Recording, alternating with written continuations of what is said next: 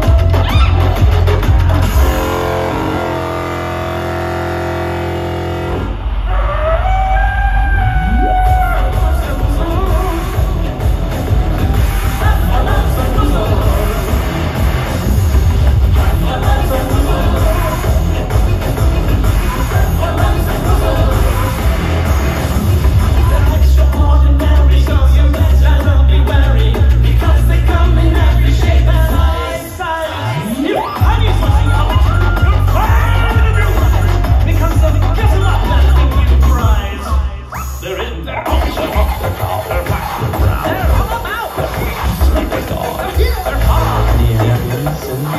god.